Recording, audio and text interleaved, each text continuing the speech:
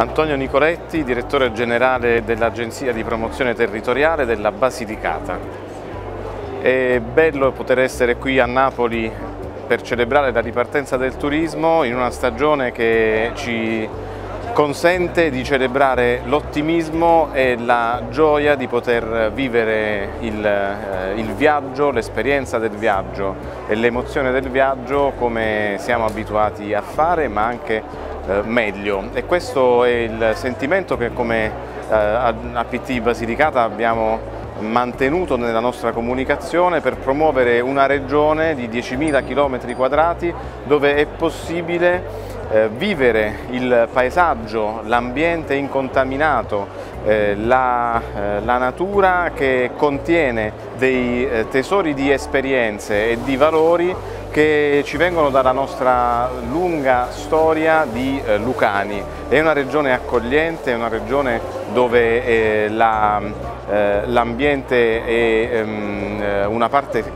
strutturante del nostro territorio e dove la diversità di paesaggi e di culture consente al viaggiatore sia che si fermi per un fine settimana sia per un mese di poter diversificare le, le proprie esperienze di viaggio, dal mare incontaminato di Maratea, l'ottava meraviglia del mondo come la definiva eh, Indro Montanelli, alle spiagge sabbiose del Metapontino con eh, le dune e le aree protette eh, ma anche con il ricco patrimonio di tesori archeologici della Magna Grecia. L'entroterra è la, eh, la grande area di sviluppo del nostro turismo dove ehm, tanti borghi eh, di eh, ricca cultura enogastronomica consentono ai viaggiatori in bicicletta, a piedi o con, eh, con ogni mezzo di poter scoprire eh, quello che la nostra terra ha da raccontare. C'è eh, il nostro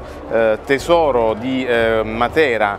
città capitale europea della cultura nel 2019 e patrimonio UNESCO e centro del Parco regionale delle chiese rupestri ehm, che è connessa anche con delle ciclovie per cui vi invito anche a scaricare la nostra app sul cicloturismo eh, è connessa con tutto il resto della Basilicata fino alla montagna potentina, al Vulture, al Pollino, alla, eh, al volo dell'Angelo del parco di Gallipoli Cognato e ehm, mi, eh, mi, piace eh, ricordare il, i due parchi nazionali, non solo il Pollino ma anche il parco dell'Appennino Lucano dalle Alte Vette eh, e Valdagrida Colegrese che eh, sono due parchi nazionali che quest'anno dal luglio del 2021 saranno uniti dal ponte tibetano più lungo del mondo, 586 metri di eh, passeggiata mozzafiato a Castel Saraceno per eh, immergersi in una natura